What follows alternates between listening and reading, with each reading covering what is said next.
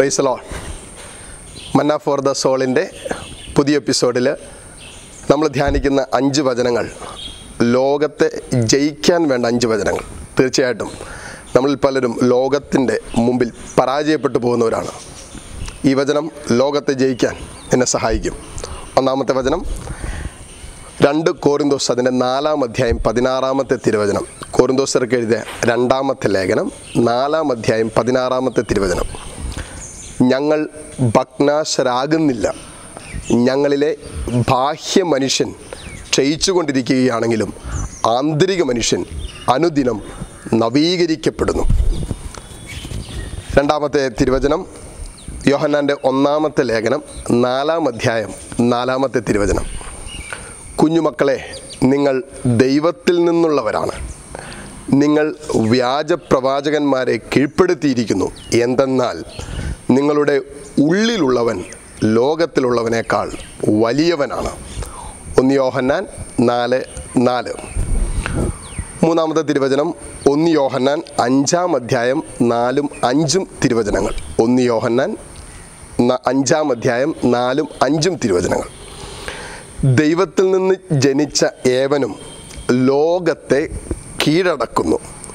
ലോകത്തിന്മേലുള്ള വിജയം ഇതാണ്. നമ്മുടെ വിശ്വാസം.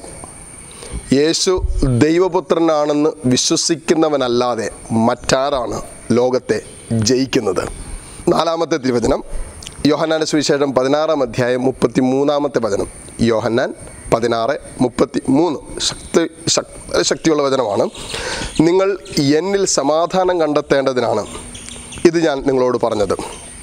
ലോകത്തിൽ നിങ്ങൾക്ക് ഞെരുക്കമുണ്ടാകും. എങ്കിലും ധൈര്യമായിരിക്കുവിൻ. ഞാൻ ലോകത്തെ ജയിച്ചിരിക്കുന്നു. കർത്താവ് പറയാൻ നിങ്ങൾക്ക് ലോകത്തിൽ ഞെരുക്കമുണ്ടാകും എങ്കിലും ധൈര്യമായിരിക്കുവിൻ. ഞാൻ ലോകത്തെ ജയിച്ചിരിക്കുന്നു. അവസാനത്തെ വചനം രണ്ട് കോരിന്തോസ് അതിന്റെ പതിമൂന്നാം അധ്യായം അഞ്ചാമത്തെ തിരുവചനം.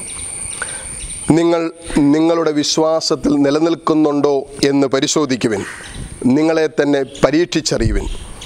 യേശുക്രിസ്തു നിങ്ങളിലുണ്ട് എന്ന് നിങ്ങൾക്ക് ബോധ്യമായിട്ടില്ലേ? ഇല്ലെങ്കിൽ തീർച്ചയായും നിങ്ങൾ പരീക്ഷയിൽ പരാജയപ്പെട്ടിരിക്കുന്നു.